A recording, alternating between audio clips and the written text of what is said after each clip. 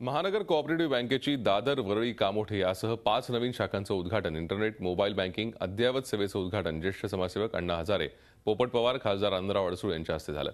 बँकेचे संस्थापक गुलाबराव शेळके यांनी एकोणीसशे शहात्तर साली बँक सुरू केली. आज बँकेच्या सदुसष्ट शाखा राज्यात वेगवेगळ्या ठिकाणी आहेत. भविष्यात जास्तीत जास्त सहकाराच्या माध्यमातून विकास ध्येय गाठण्याची संकल्पना आहे अशी माहिती बँकेचे संस्थापक गुलाबराव शेळके यांनी दिली. महानगर महानगर बँक ही सहकारातील आदर्श बँक आहे असं कौतुक अण्णांनी केलं.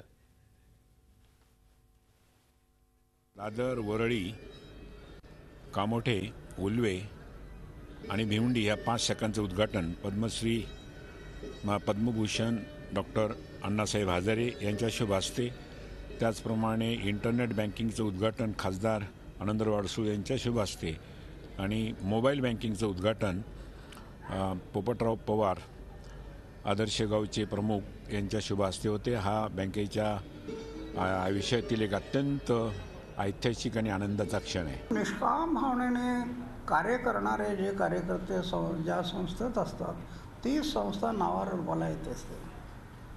आणि हे काम जे महाबँकेत जे चालले अनेक वर्ष एकतर मी कुठल्याही बँक आणि पतसंस्थेच्या कार्यक्रमाला जात नाही.